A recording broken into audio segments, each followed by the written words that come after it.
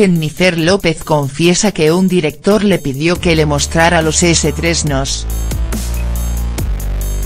La cantante y actriz Jennifer López, durante una entrevista con Harper's Bazaar confesó que un director, le pidió que le mostrara los senos.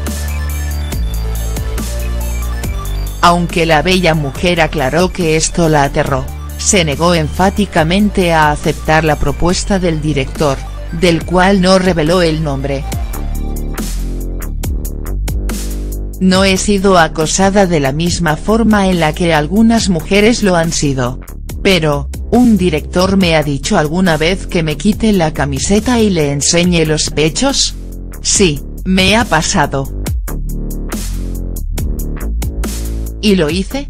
No, mencionó la diva del Bronx.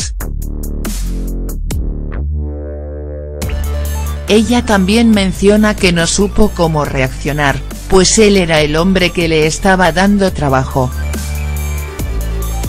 Cuando le contesté, estaba aterrada.